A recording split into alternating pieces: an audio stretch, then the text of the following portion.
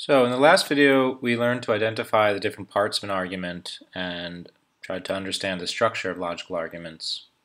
And in doing so, we were relying on an intuitive understanding of what the argument was trying to establish and how it was structured and so on. Um, but as it turns out, in English, there's a number of words that can actually help key you in to whether a particular sentence in a text is supposed to be a premise or a conclusion. So in this video we'll look at some of those words uh, which make it easier to analyze arguments. So first we'll look at some words that signal the conclusion of an argument. Let's take a look at this argument. If Dave is home, then his lights must be on. Dave's lights are not on, so Dave must not be home. Okay, very simple argument like the ones that we've looked at previously. Uh, what I want to focus on now is this word so, which we see in uh, statement C.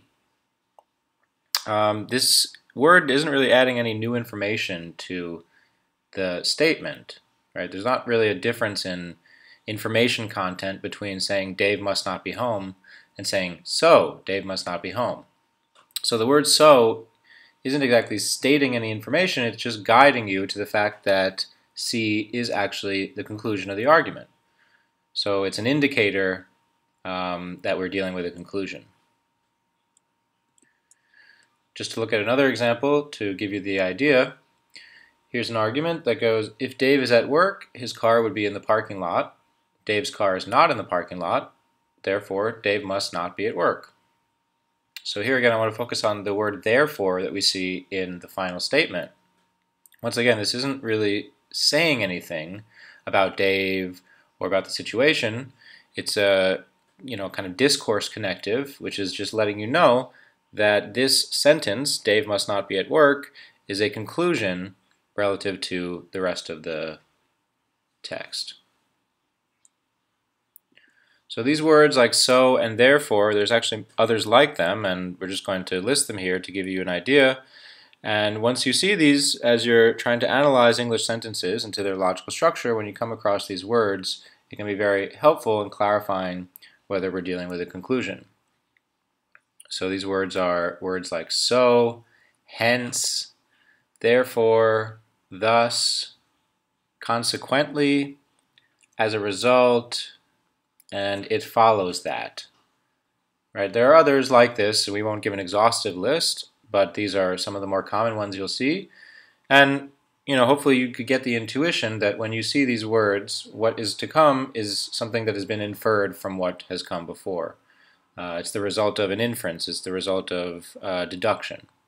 Right? That's what a lot of these words are getting at. So keep an eye out for these as we're doing our uh, analysis of English sentences, and it'll make the task a lot easier. Okay, so we've looked at some words that help you identify conclusions. Uh, there's also some that key you into the presence of a premise. So let's look at this argument. Alice is a teacher. Since all teachers are friendly, Alice is friendly. Okay, so here I've actually broken up the sentence, since all teachers are friendly, Alice is friendly, into two sentences um, because the word since is actually telling you that the, the statement all teachers are friendly is a premise.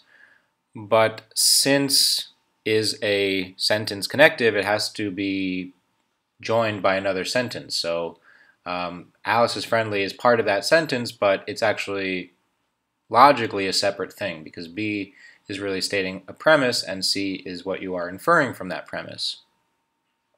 Okay, so even though it is grammatically one sentence, we are analyzing it into two different parts here. And since is the key word that we're interested in, uh, which tells you that since A, B means that A is supposed to provide reasons for B, which is exactly what a premise is supposed to do with respect to a conclusion. So since is a very strong indicator that you're dealing with a premise. Um, because it's always part of a more complex sentence, you'll have to pay attention to where the cutoff is, right, between the first part of the sentence and the second part of the sentence, um, because only part of it might be the premise. But it's a very useful word. And uh, let's look at another kind of example. Here we have another basic argument. Bob likes jam. Furthermore, Carol likes jam. So Bob and Carol like the same thing. And here the keyword that we're focusing on is the word furthermore. Um, this clearly signals a premise because it's saying in addition, right, adding new information. Uh, a conclusion is supposed to be something that doesn't add new information but just draws out the information that's contained in the premises. So by saying furthermore or in addition or also or things like that, you're saying, okay, here's some more new information, so that's most likely to be a premise rather than a conclusion. Uh, going back briefly to our observations about conclusions, unfortunately these keywords don't help you differentiate whether we are dealing with an intermediate conclusion or with the main conclusion of an argument. So to get a sense of that, you really have to be paying attention to what the argument is overall trying to do. So here are some words that can key you into the existence of a premise. In addition, furthermore, since, because, given that, in that, for, and in as much as.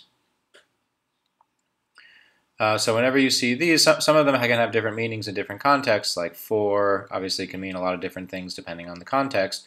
But if you say, um, the party must have been fun, for everyone is leaving with a smile. The for everyone is leaving with a smile is giving a reason to believe that the party must have been fun. So that's the sense in which for can be used to signal a reason or a premise. Okay, so we've looked at some of these. Again, we haven't given a completely exhaustive list, but these are just supposed to help you get a feel for when you're trying to analyze an argument, what part of the argument are we dealing with at a given moment.